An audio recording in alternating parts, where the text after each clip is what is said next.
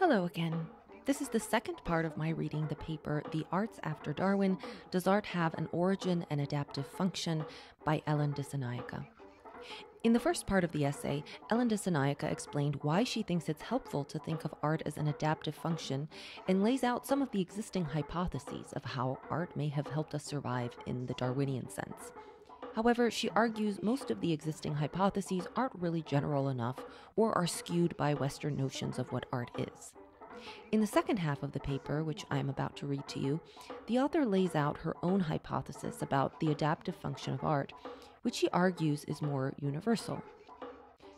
The purpose of reading this essay is to help answer the question which has started to form around this podcast What is the value of art? Whether we talk about value on the market or aesthetic value, the conversation around that question seems muddled. I personally find looking at it from an anthropological and specifically evolutionary perspective helpful, at least partially. But after listening, let me know if you do too. So, with no further ado, here is the second half of Ellen Dissanayake's Arts After Darwin. We're continuing with subchapter 4 A Common Denominator of Art. Scholars versed in historical, anthropological, or philosophical studies of the arts are well aware of the complexities inherent in conceptualizing their subject. They appreciate that orthodox Western notions of aesthetics and art, that art is rare, elite, original, individual, and costly, that it is synonymous with or closely related to concepts of beauty, skill, creativity, imagination, representational accuracy, or self expression, that it is composed of autonomous objects, paintings, sculptures, ceramics, or activities, dances, songs, performances, that it is the province of specialist artists, quote unquote, are derived from Enlightenment ideas and are by no means universally held or practiced. Moreover, most human societies have no concept of art in the Western sense of an overreaching category that includes such diverse entities as paintings, carvings, songs, dances, and literature. So she's just describing the Orthodox Western notion of art and how it differs from a more anthropological and therefore universally human notion of art. Most contemporary evolutionists lack this new and broader understanding of art. So I guess she's saying that even evolutionists lack this understanding of art, even though I guess the broader understanding of art would be an anthropological uh, notion of art as opposed to a Western uh, aesthetic notion of art. Most contemporary evolutionists lack this new and broader understanding of art. In this respect, their assumptions about art and art theory are as outdated and beside the point as are most art theorists' assumptions about evolutionary theory. Yet those who have a sophisticated knowledge of art today, the humanists, adhere to the axiom that there cannot be a common denominator that characterizes art. For most such scholars today, art is only a socially constructed concept. So she's saying that the kind of predominant uh, approach to art is that it is a socially constructed concept. And she, of course, argues that it is a, a biological um, and evolved human characteristic, that, that it is sort of encoded in, in all of our DNA. Unfortunately, for an evolutionist who wishes to consider art as an evolved component of human nature, there must be some universal proclivity or features that selection could have acted on, something that encompasses all instances, pre modern, modern, and postmodern, and can be shown to have a plausible evolutionary origin and adaptive function or functions. So, this is the whole argument of the essay that she wants to create a universal and truly anthropologically informed description of what art is. And she argues that basically no one has done it, and that um, very often anthropologists who often come from, you know, what's called Western countries have a very um, Western centric notion of art, which then makes it impossible for them to really formulate some kind of uh, real Darwinian hypothesis of what art uh, might actually be for.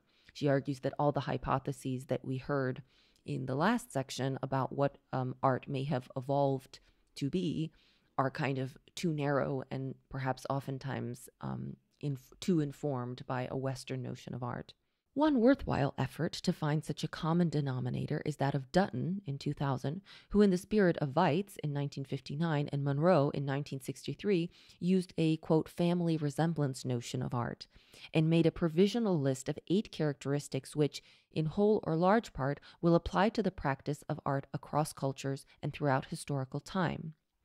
Giving pleasure in itself, exhibiting specialized skill, being made in a recognizable style according to formal rules, lending itself to critical discourse of judgment and appreciation, representing or imitating real and imaginary experience of the world, being the product of conscious intention by a maker, being quote bracketed or set off from ordinary life, and serving as an imaginative experience for both producers and audiences.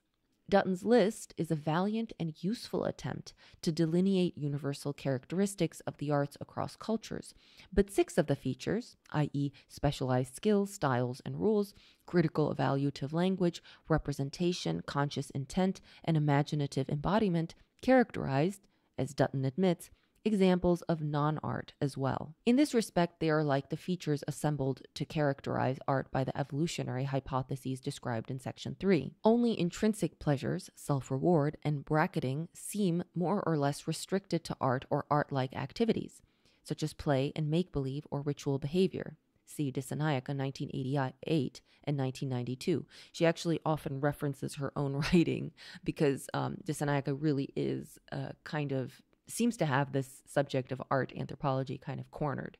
So she's saying here, she's pointing out one list from the year 2000 that's inspired by these earlier efforts in 59 and 63 that give these six characterizations of art. But she says, you know, they still, still, they fall into uh, the trap of also describing things which are not art like uh, which he says our specialized skill applies also not to art. Styles and rules applies to non-art. Critical evaluative language applies to non-art. Representation applies to non-art. Conscious intent applies to non-art. And imaginative embodiment applies to non-art. I would actually like to know how. Maybe she describes that later or she probably describes that in in, in more depth in her books in her full-length uh, monographs. Past and present Western theories of art have considered art as an artifact, a work or object of a certain kind, say a painting, mask, song, or literary work. An essential attribute that makes a work or object art, like disinterested appreciation, beauty, skill, costliness, and preference, a cue to something else. So they also might see a, uh, art as a cue to something else, like the presence of a deity, virtuosity, and creativity, which denote good genes, or as an activity or behavior, like making or displaying. As explained earlier, however, artifact, essence, and cue are problematic defining features for an adaptationist account of art because they do not pertain to many important instances of the arts in small scale societies, and they beg the question of what art is. Again, she's just saying all of this research has has only covered this subject partially.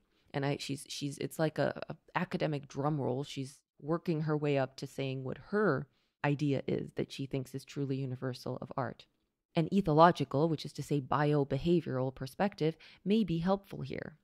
Um, ethology is the study of animal behavior, apparently, which includes us. Ethology um, is, I think, from what I've heard, is often considered like kind of a more ethical way almost of, of understanding animals because you're understanding them as a part of their environment and you're not disturbing them, you're just observing them as they behave in, in nature. When studying courtship, parenting, and other characteristic activities of an, an animal's life, ethologists describe what individuals do or accomplish when they court, parent, and so forth.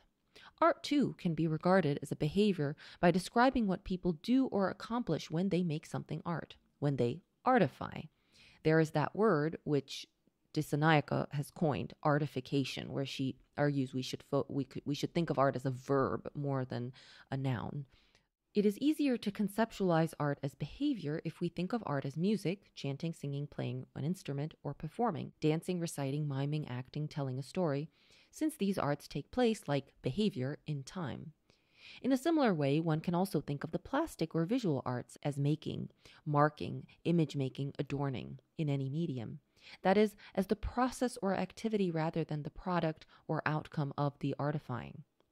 But it is not immediately evident what, if anything, these various activities accomplish or have in common.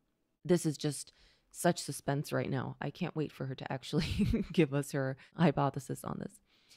In earlier publications, Dissanayake, 1988, 1992, 1995, again, she's referencing herself, I suggested a common denominator for a behavior of art that I called making special. Again, making special is Dissanayake's kind of special term that she uses.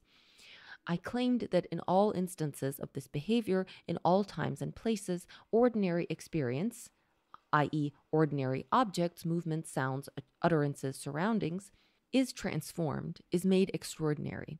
For example, in dance, ordinary bodily movements of everyday life are exaggerated, patterned, embellished, repeated, made special. In poetry, the usual syntactic and semantic aspects of everyday spoken language are patterned by means of rhythm, rhyme, alliteration, assonance, inverted, exaggerated, using special vocabulary and unusual metaphorical analogies, and repeated, made special. In song, the prosodic, intonational, and expressive aspects of everyday language, the ups and downs of pitch, pauses or rests, stresses or accents, louds and softs, fasts and slows, are exaggerated, sustained, patterned, repeated, varied, and so forth, made special. In visual display, ordinary objects like the natural body, the natural surroundings, i.e., cave walls, logs, anthill mud, and common artifacts like house walls, canoes, are made special by cultural shaping and elaboration that make them more than ordinary. The notion of making special is congruent with similar formulations by others, i.e., the notion of bracketing in Dutton in 2000 that she just mentioned, or defamiliarization, making strange, and foregrounding in literary studies.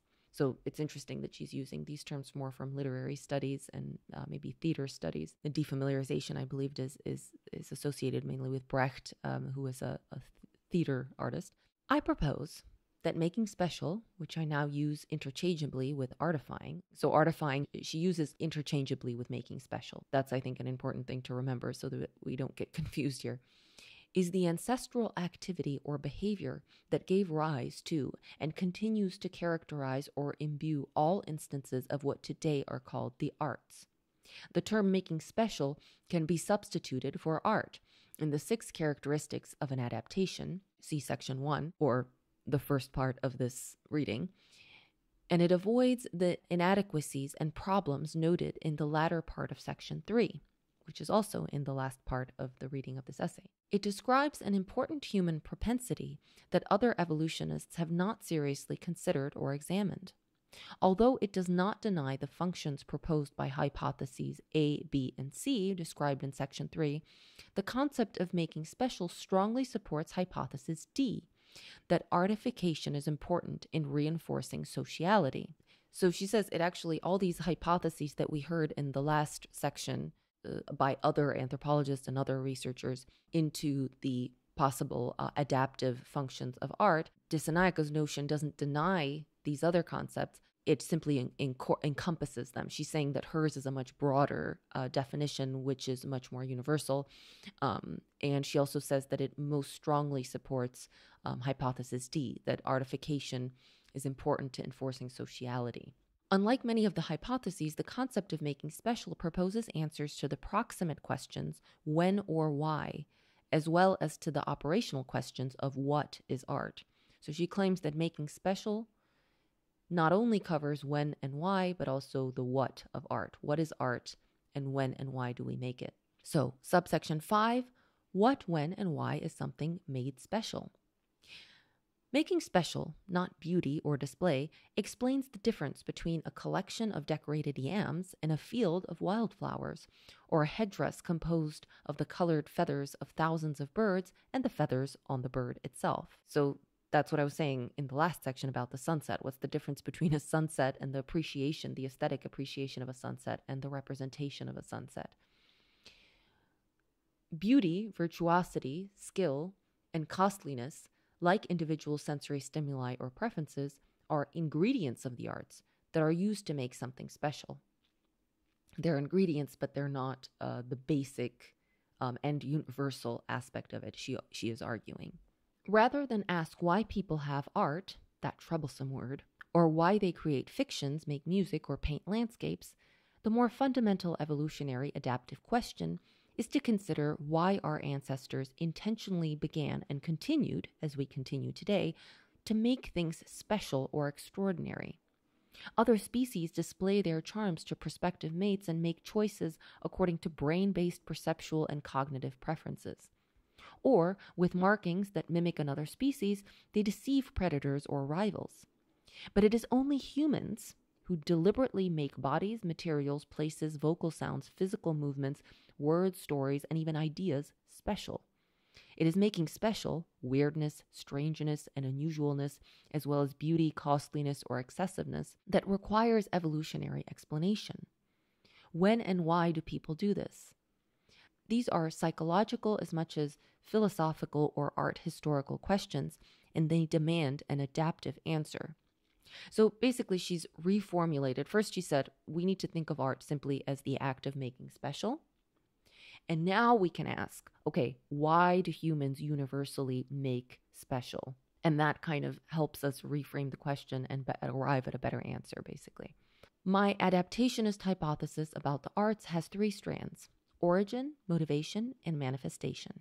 One, origin aesthetic predisposition, and the operations of making special. Studies by developmental psychologists reveal universal features in the interaction of human mothers and their infants. Despite cultural variations, mothers and other adults everywhere talk to babies in a characteristically soft, high pitched, and undulant voice, which babies prefer to typical adult conversational speech. Along with this special vocal behavior, adults engage infants' attention by the use of rhythmic body movements, touching, patting, stroking, hugging, and kissing, unusual facial expressions, gaze, sustained smiles, open mouth, widened eyes, raised eyebrows, and characteristic head movements, bobs, nods, and wags, in an almost ritualized way. These vocalizations, expressions, and movements are repeated, often with dynamic variations, loud and soft, large and small, fast and slow, in what can be called a multimedia performance. It's, I mean, I don't know if this is something or this is nothing, but I think of um, the romantic idea uh, that uh, they talked so much about in that essay, um, Another Art World, which I read in three parts um, on this uh, podcast recently. The idea that the, the romantics um, thought of this childlike freedom um, as the basis of being an artist, and that actually the Romantics thought, therefore, we are all artists, or we at least all began as artists before we suppressed it as adults. Um, and so this is almost like a little more anthropological um, nod, even though it focuses more on the behavior of the caretaker towards the child than the child. Yet it is more than an individual performance. Minute analysis of videotaped engagements of mothers and babies showed that the pair interact in remarkably close temporal unity, responding to each other in subtle yet precise ways. The mother varies her pace and rhythm in order maximally to fit in with or gently direct the baby's emotional state. The baby in turn responds to the mother's signals with kicks, hand and arm movements, facial expressions, head movements, and vocalizations of its own often as if participating in a mutually negotiated rhythmic pulse with complementary dynamics. Over much of the first year of the infant's life, the pair engage and disengage, synchronize and alternate, practicing their physical, psychological, and emotional attunement by means of these multimodal expressive signals. So there's this notion that a lot of artists are damaged. Um, I don't think it's it's really true, but it makes me think that you know maybe a lot of people who want to be artists who want to spend their life being artists. Maybe what distinguishes them is that um, artists have not yet resolved their their childhood dynamics somehow. Because if art originates from this interaction between parents and children, the idea that some adults would want to continue doing it forever and others wouldn't uh, is interesting, right? Because of its spontaneous nature and widespread occurrence, mother infant interactions, as described, is assumed to be an evolved, adaptive part of human nature. Among its many practical contributions to the baby's development are assisting emotional equilibrium, self and interactive regulation, socialization, language learning, and acquisition of the parental culture. By the way, you know, what's interesting there is that, of course, it would support the notion that the dominance of the arts by men um, and the idea of, of it being mostly a sexual uh, selection uh, kind of thing, uh, which kind of supports this idea that it's mostly for men to do and to do well. Um, this kind of blows it out of the water, right? And I think this is, I mean, th- th- this notion is truly Dissanayaka's contribution. I mean, this is this this idea that it originates in the interaction of of uh, parents and children um, is is really hers. It is important, though largely unrecognized, that the very components of the interaction are fundamentally aesthetic or proto aesthetic. The signals used by adults to infants are formalized, simplified or stereotyped, exaggerated, repeated, and elaborated in visual, vocal, and kinetic gestural modalities. These features attract and sustain the infant's attention, maintain the engagement, and serve to bond the partners. So she's also talking about it in partner interaction um, in couples. They also create and satisfy anticipation. In the early months, babies require predictability. But at about five or six months of age, they start to enjoy suspense and surprise, as in games of peekaboo and This Little Piggy, in which their expectations is, are manipulated. I suggest that the innate capacities and sensitivities that evolved originally between adults and babies to make and respond to proto aesthetic, temporal, and dynamic manipulations like formalization, exaggeration, repetition, elaboration, and delayed expectancy, comprised a quote behavioral reservoir from which early humans could draw when at a later point in evolution they began deliberately to artify. Notably, it is these same manipulations or operations that are used, intentionally and in varied ways, by artists in any medium when they artify, make something special. Almost any mask from geographical areas as widely separated as sub Saharan Africa, the Arctic, and Oceania show the first four of these features.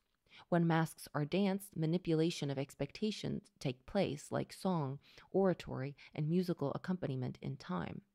So she's saying that these aspects um, of play with infants um, and children are then reflected and developed and um, reused in what we call art.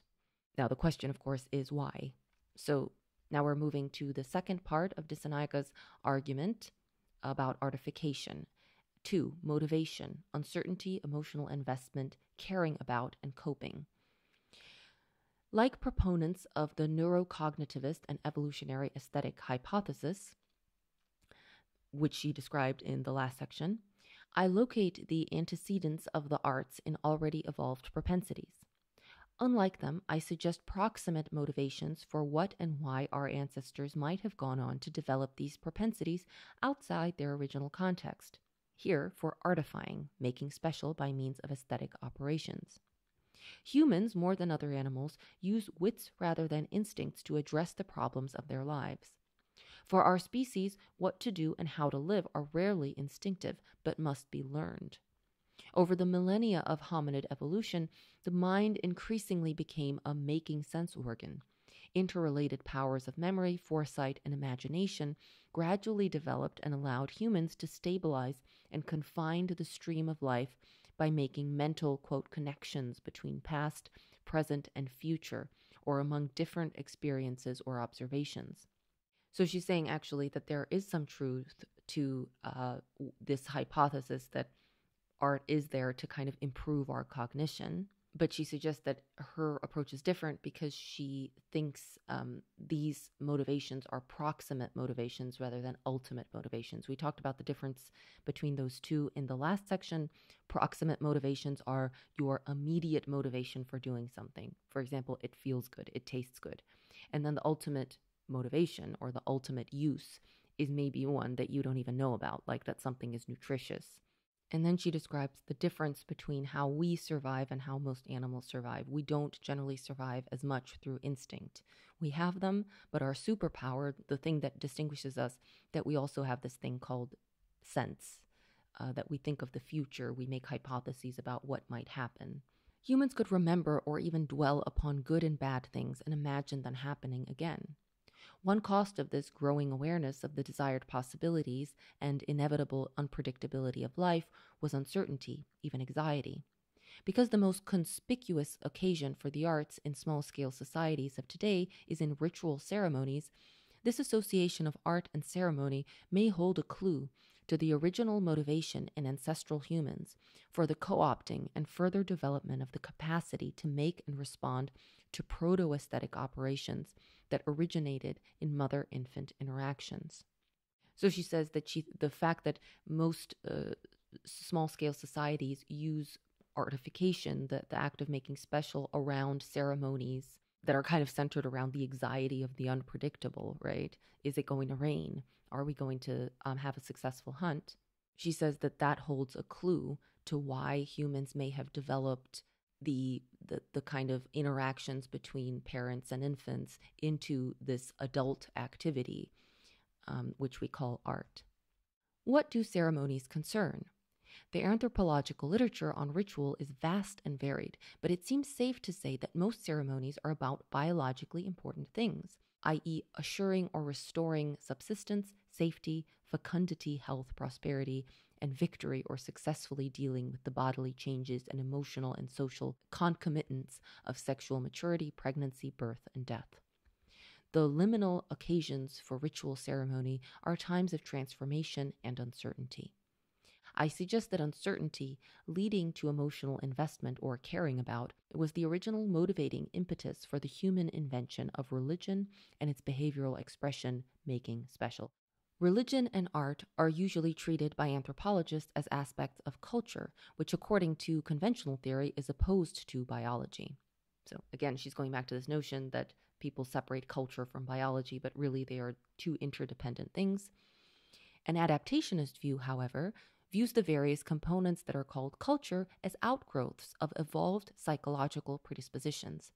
In general, cultural knowledge and practices direct our attention to particular biologically significant things, i.e., ways to become a competent adult, to make a living, to rear children, and to maintain social relationships.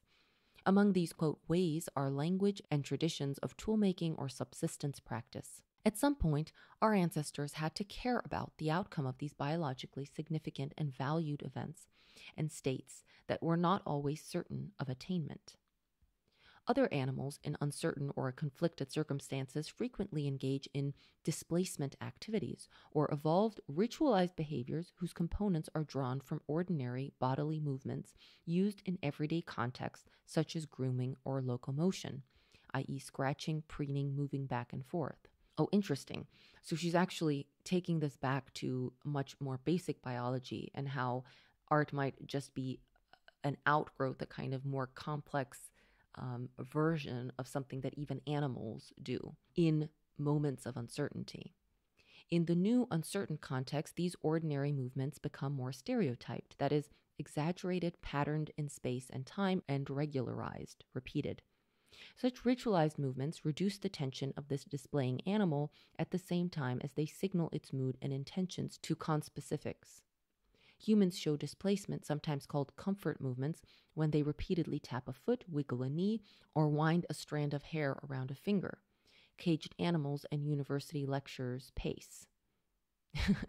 That's a little joke, I think. Caged animals and university lecturers pace. So this is really interesting, actually, that she's actually identifying these these movements that even animals make when they're nervous or when when they don't quite have control over a situation to uh, comfort themselves and i guess she's identifying really art as an outgrowth of that.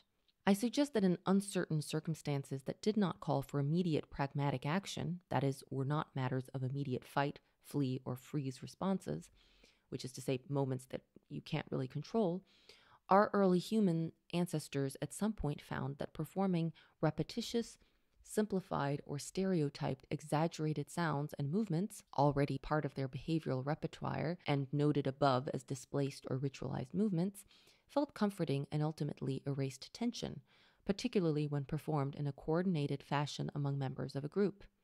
Perhaps this behavior first occurred during a frightening storm. Such a response was described in two different Melanesian societies by Mead and Malinowski when villagers huddled together, chanting charms to calm the violent winds.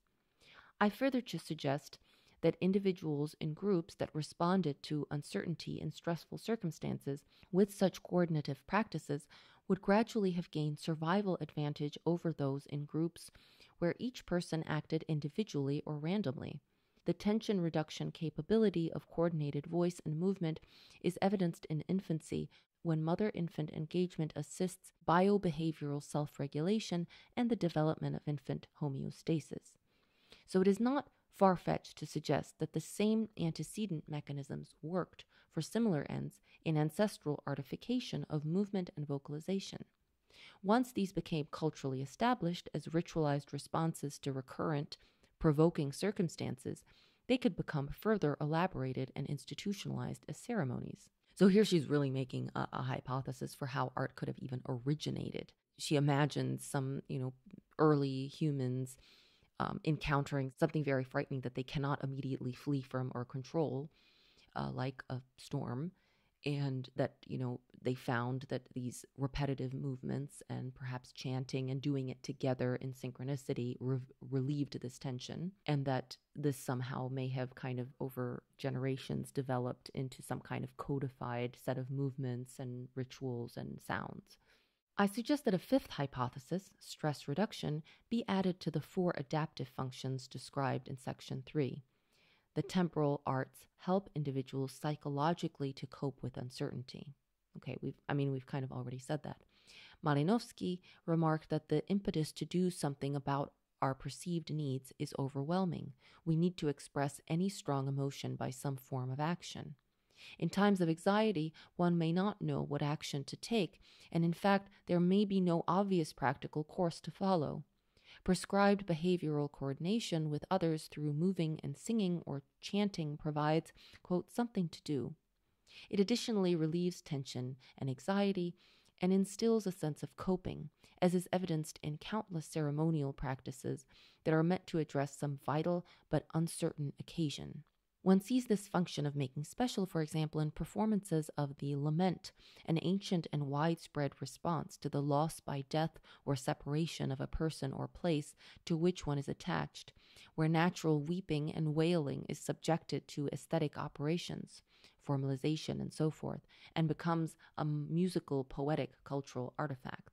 So, this is just a specific occasion of how the, the grief relief and the stress relief of losing someone and, and this wailing could actually be institutionalized because I mean I know that in ancient Greece there were uh, I think mostly women who whose job it was to wail at funerals. Um, so that's kind of a specific example of how a natural stress re- uh, reduction response then becomes institutionalized into something like the the art of wailing Relief of uncertainty or anxiety is not the only function of the arts, but making places and actions special continues to provide something to do and a means of coping, as was evident in the spontaneous public responses of Americans to the horrifying destruction of the World Trade Towers in September 2001. This was written in 2008, so I guess this was really fresh. It's kind of an outdated reference because I don't, I mean, I was quite young, but I remember that time. I don't remember exactly what the uh, spontaneous public responses were to the World Trade Center, frankly. So now we'll move to the third part of uh, argument, which is three, manifestation, the invention and functions of ceremonial ritual. In, quote, traditional or, quote, subsistent societies, small scale groups that are more like ancestral societies than recent, specialized, technologically complex societies with developed agriculture and writing, the primary context for artification, such as singing, drumming, dancing, dramatic performance, poetic language, and visual display, is in various kinds of ritual ceremony. Although anthropologists usually conceptualize ceremonies as part of a symbolic cognitive system, here I wish to point out that regardless of what meanings they convey, ceremonies are constituted of arts, again, behavior and artifacts made special, and would not exist without them. In ceremonies, the arts attract attention, sustain interest, coordinate group effort, and provide emotional excitement and satisfaction, plausibly implying that the arts arose in human evolution as adjuncts to ceremonial behavior rather than as independently evolved activities. So she's saying basically, from what we know, we can plausibly say that the arts evolved through ritual rather than independently of it. In his essay Religion and Society from 1952, Radcliffe Brown unwittingly used adaptationist thinking when he claimed that religion has a function in society apart from whether it does for the participants what they want it to do or think it does. He found its, quote, ultimate function to be to regulate, maintain, and transmit from one generation to another sentiments on which the continuity of the society depends one of the things kind of implied here, but that hasn't really been explicitly said, is that what seems to separate us from the rest of the animal kingdom is the fact that we pass down kind of complex knowledge that has been developed over generations. And we're able to do that uh, through language. But the idea here is that it's not just through language, but also through ritual that um, we pass down this knowledge. Radcliffe Brown's emphasis on emotion or sentiments begs for an additional clause that emphasizes that the arts are the crucial mechanisms in ceremonies for regulating, maintaining, and transmitting these sentiments. I view ceremonial arts as the behavioral counterpart of religious beliefs.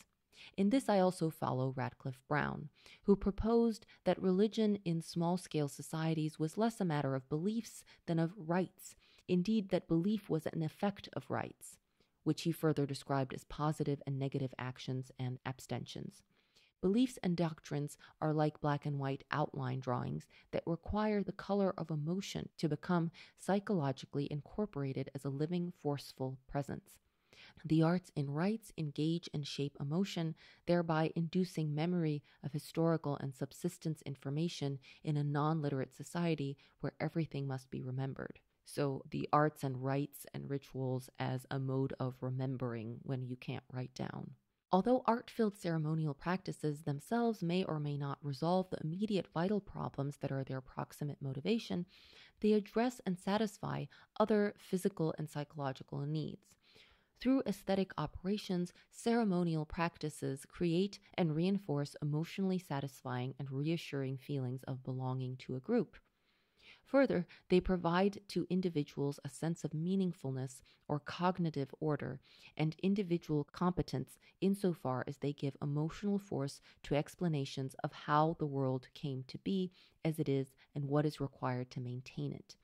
They coordinate and unify group members in a feeling of one heartedness. All these effects contribute to psychological homeostasis and thus to individual survival and reproductive success, i.e., fitness. So she's arguing art allows us to pass down information, even in illiterate societies, and that also by stress reduction and by by um, congealing, by by bringing societies together, it ensures survival. I I almost feel like, and this is these are my words, but it's like the development of the brain when we have to face death, when we have to face all sorts of things that we have no control over and that are scary to us and we have to project about them into the future. It's so stressful that we had to develop these coping mechanisms in order to maintain the the advantages of our cognitive abilities or rather in order to survive our cognitive abilities. For these reasons, I question the explanatory power of the sexual selection hypothesis, with its emphasis on the arts as originating or persisting primarily as indications of personal fitness. Certainly, costly display may indicate fitness and hence sexual desirability, or preferred shapes, colors, and movements may provide criteria for mate choice. However, it should not be forgotten that costliness, specialness, may also signal look at how important this is and see how much I, we care about this. Because in ritual performances, the artistic effort that is given to assure good outcomes is indexical to the importance they are felt to have, it is not surprising that people use skill, expense, and excess of all kinds to demonstrate their emotional investment in the object or event they choose to artify. She's not saying this, but it's almost like she is distinguishing between group fitness and individual fitness. We can't really separate an individual human's survival from group survival so much. For example, shields that are used for protection in hunting or warfare, as by uh, Maasai men of East Africa or numerous groups in Papua New Guinea, could hypothetically be made of just a plain, strong plank of wood. Such shields, however, are invariably decorated, not simply with adaptably relevant colors and forms, but with carefully carved or painted motifs. Although the motif's power resides in their supposed magic potency, They are not simply scrawled onto the wood. On the contrary, they must be made with care, not to display one's virtuosic painting or carving ability for admiring females, but so that they will work. Although I would like to agree in general that the sexual selection hypothesis is not so compelling as a hypothesis because it leaves a lot of stuff out. Here, I don't really understand um, how the fact that someone might believe in a certain society that these carvings make a shield work mean that it's not about sexual selection. I don't really understand how those two things connect. Similarly, young males who undergo scarification for rites of manhood are not randomly slashed, although any sort of cut would presumably demonstrate their ability to bear pain manfully. Because what the scars will indicate is important the state of adulthood. They are placed carefully and symmetrically on the face or body of the initiate. The Trobriander's ceremonial kula, seagoing canoe, masawa, is carved perfectly, whereas carving is often indifferent in fishing canoes and non existent in personal ones. Beauty, skill, and high cost signal to higher powers, to others, to one's group, and to oneself the supreme importance of the artifact or occasion. So she just is saying it seems to her that artification is there to delineate something which is meant to be seen as important, to, to kind of, it's like a highlighter and not a highlighter of the individual. It's a highlighter of, of usually of a thing or an idea, for example, adulthood or fishing. So the next subsection is called, um, number six, is called Implications of a Humanity Centered or Adaptationist Model of the Arts. Only an adaptationist paradigm can address two important and incontrovertible facts about the implied subject of humanistic study, or humanity. First, all people who have lived during the past 250,000 years have been members of one species and, like other species, share a common nature, human nature. Comprehending this fact is essential for a contemporary understanding of world art, as of world history, religion, health, education, or any other human subject. Second, the human mind and the behaviors and artifacts it produces are biologically based. That is, the result of the electrochemistry and anatomical structure of the brain that has evolved like other parts of the body to help individuals survive and reproduce. So, that's where uh, she's breaking down the mind body dualism. She says, no, that it's all biology. Because all individuals have similar emotional needs and motivational structures, it is obsolete and limiting to treat human behavior as being only culturally or individually constructed. So it is not only culture and it is not only the individual. Human cultures have developed as ways of addressing and satisfying evolved individual emotional needs and motivations. In other words, all cultures have devised ways of dealing with their members' vital concerns, and, as I have shown, the arts are integral parts of this armamentarium. As arts are part of culture, artifying or making special is part of biology. So there, she's just really restating the fact that uh, artifying and making special, the act which she is her synonym for the act of making art, is a biological manifestation, or it's a manifestation of our biology. The concept of making special is congruent with a number of valued premises in contemporary humanistic study. It supports such aims as re examination and re evaluation of orthodox anthropological and aesthetic assumptions, Marcus and Fischer, 1999, and provides good arguments against hierarchical thinking, or us versus them, and for pluralism. Whether in or out of the academy, the problem of cultural bias is lessened if we understand that all cultures address biologically important matters and that the arts have evolved as integral parts of dealing with these. She's coming back again to her original thesis this idea that we need to think um, of art more universally, avoid this hierarchical, um, culturally, let's say, um, looking at art through a cultural lens, and we need to think of it as uh, uh, biologically so that we can find some kind of universal meaning to it.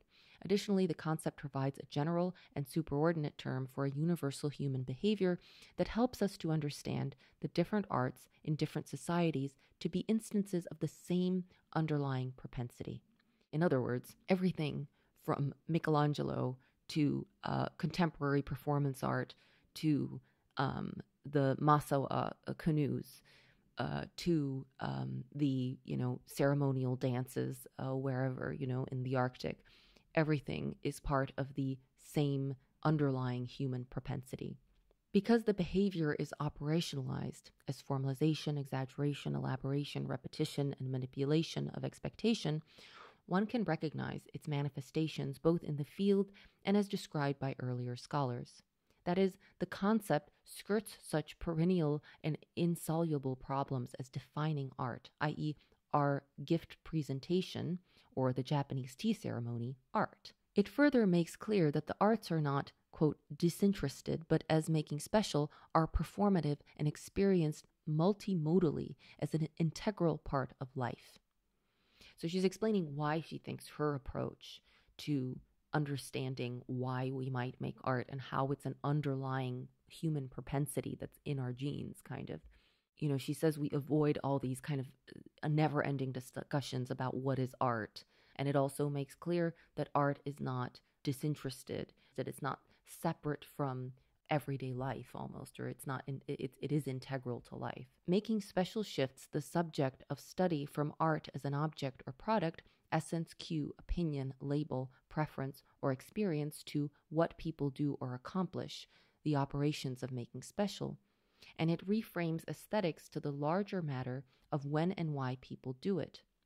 Studies of the arts of an individual or so society can be recast within the framework and then compared with similar what, when, and why questions of another individual or society. So she says it also, her conception of art also shifts the focus from um, art as an object um, and, and also kind of from um, art as something we must judge to art as the question of what do people accomplish and why do people do it.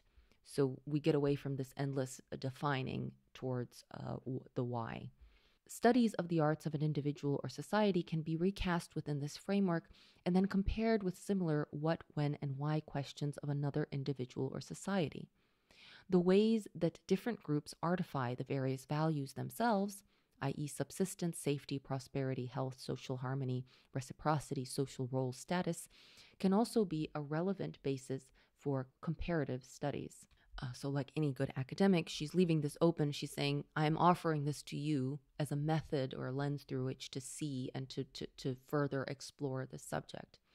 Similarly, the study of meaning, symbols, and language can be enriched with adaptationist understanding of why humans evolved to have and use these capacities, and when and why, not only how, meanings are so often artified.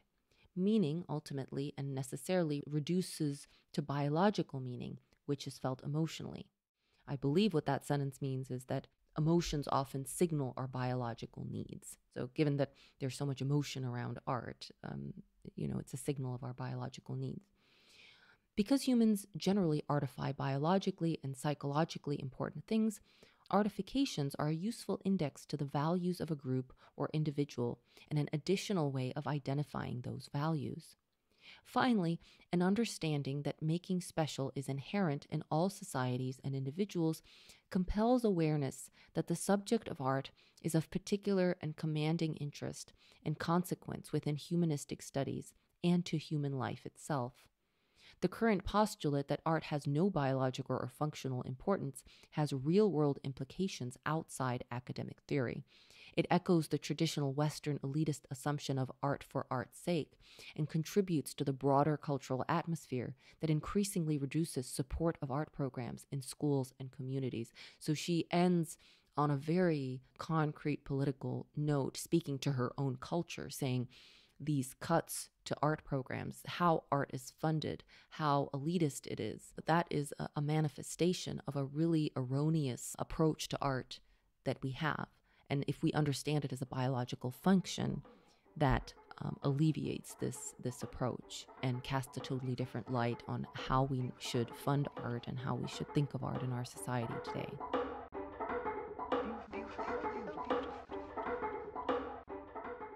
Hope you got something out of this essay and my reading of it. If you've listened this far, please do consider subscribing wherever you get your podcasts or on YouTube. The best way to keep up to date with artists on The Verge is to sign up for the newsletter, which I send on the 13th of every month. And most importantly, if the themes of this podcast speak to you, get in touch. I would like to build a community of like minded artists around this platform. All relevant links are in the description. Here's to being on the verge.